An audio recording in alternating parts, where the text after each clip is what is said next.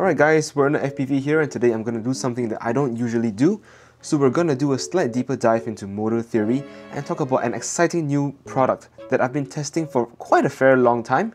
It is the version 2 of the famous VCI 702 tiny whoop motor. So if you recall the version 1 Spark motor, it was a lovely golden motor released about one and a half years ago in the beginning of 2024. It was smooth and had powerful dual ball bearings and it was this motor that I used to get third place at Whooptopia 2024. So um, here's some footage, a throwback to over one year ago, one of my favorite tracks of all time, super flowy and super great for a motor like this. So um, instantly once released, um, the Spark motor became very well liked because it was um, so smooth, felt like you were flying on butter all the time. And uh, these dual bearings also help to increase the longevity, like the lifespan of the motor, compared to a traditional bushing motor that will just wear after a few hundred pecks, even if you put like lubrication on the shaft, right? But um, the V1 Spark motor, it wasn't perfect, and there were two like downsides about it. So the first downside was that it was a little heavy. So the version 1 weighed about 1.53 grams with cable and plug, which was on the heavier side.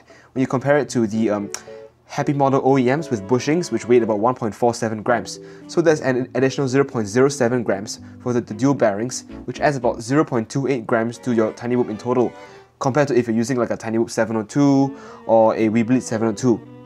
Right, and secondly, it also wasn't the most efficient motor on the market, um, especially because the 29k kV that was on it was accurately stated, unlike many other manufacturers who actually do overstate the kV value, right? So it was common for me to get about one and a half minutes of flight time, which is not bad. It's good enough for three laps on almost any track, but it's not the best, right? So in 2025, right, enough yapping from me, we present the version 2 of the Spark motor. And this motor is now going to be um, called by a different name. It's going to be called the SE and DB versions. And there's going to be a whole different array of new KV and type options, right? So first we have the DB version with dual bearings, which is geared towards general pilots uh, and just like practice batteries on a track, like on a practice track. So these weighs 1.45 grams with cable and it's pretty crazy because it's even lighter than many motors on the market with bushings, right?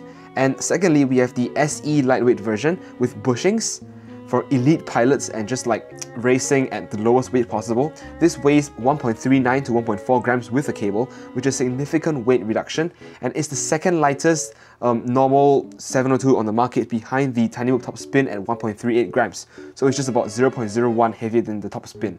And um, for each the SE and DB versions, that'll be 23K, 27K, and 30K through true KV values for each version.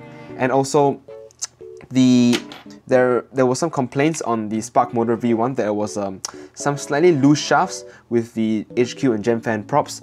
But after my testing I found that there's no more such issue with, with this 1219S especially. Um, the shaft is nice and tight uh, so no more slipping the shafts. So yeah I'm going to talk about the development of this uh, V2 motor. So uh, VCI first sent me some prototypes in like um, October last year. So this was the first prototype of the V2 Spark motor oh sorry, the V2 SE and DB motor, sorry, very confusing terminology here. But in October 2024, I tested this. Um, the DVR is on the left right here. Great power, great efficiency, but still a little too heavy. This was like 1.55 grams, was even heavier than the first version, right? Um, so we move on to the second prototype. This was uh, what I tested in December 2024.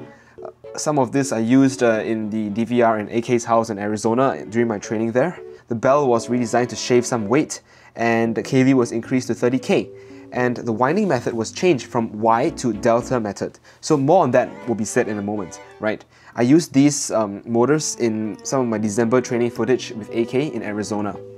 And moving on to the third and final prototype, I've been testing this since last month and uh, we have some material changes to increase efficiency.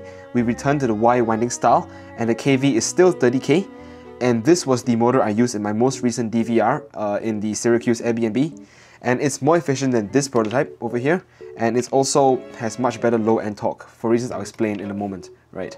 So even as a VCI pilot, my opinion is going to be a little biased, but for my flying style, I feel that this new VCI motor is really going to be the best option for the market for a smooth dual bearing motor that lasts many, many packs, as it has a great throttle curve and is still light enough to easily, easily get sub 16 grams on almost any whoop without any crazy frame mods. Like So this one, for example, is like 15.7 and I didn't really bother to do any weight saving at all. The frame is stock, the cables are twisted, uh, and the camera mount is pretty heavy. So yeah, that's good. Um, just remember that even the DB version with dual bearings is 1.45 grams per motor, which is on par with many motors out there using bushings, right?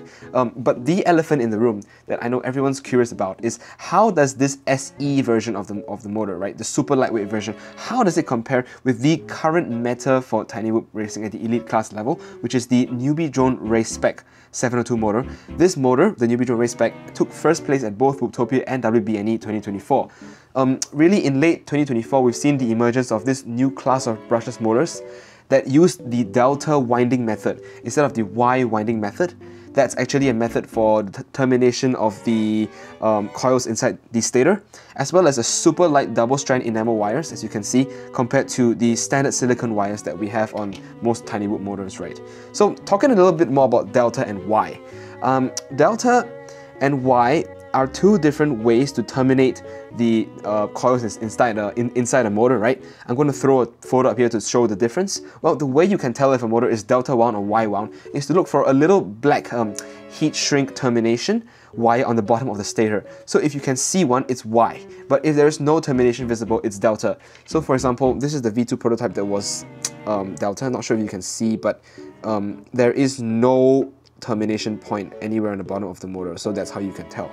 Um, anyway, I'm an aerospace major, I'm not an EE major, so I'm not the most qualified to talk about this, but from what I do understand, here are the key differences. So delta wound motors, right, tend to have a higher KV or RPM per voltage value than a Y wound motor. So that's to say that um, for two motors of the same stator volume and the same uh, like size, the delta wound motor has about 1.7 times or basically square root of 3 more kV than a Y wound motor. So this means that a delta motor just pulls more current than Y, but it can give more power at a higher RPM. And inversely speaking, the Y wound motor would be more efficient at having a torque constant that's about 1.7 times or root 3 higher than the delta wound motor.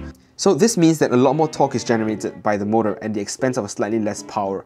So I'm not the best at explaining this, so if you want a deeper dive in the differences, I'm going to link a video down in the description.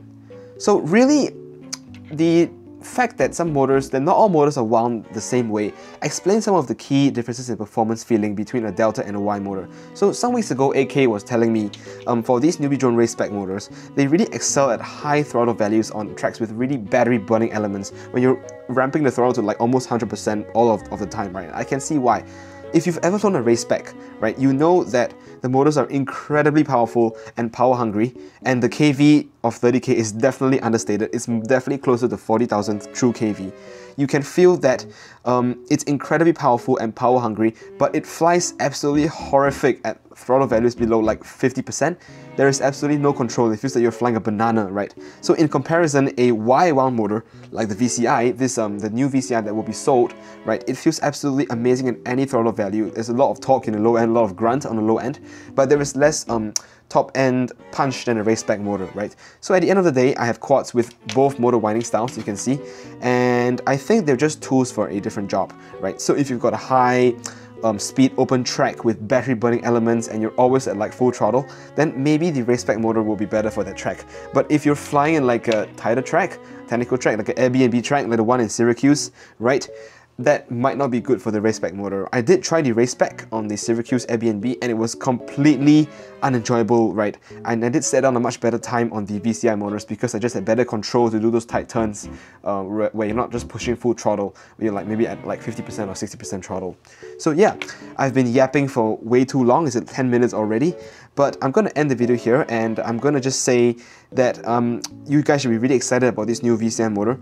Uh, I hope that this video was useful and yeah, I'm going. I think I'm going to be using these motors um, for the rest of 2025 in my main Whoop race fleet for whatever races that come next. So yeah, please let me know down in the comments what you think about the differences and uh, any knowledge you have about electrical systems in brushless motors. So thanks and see you in the next video guys.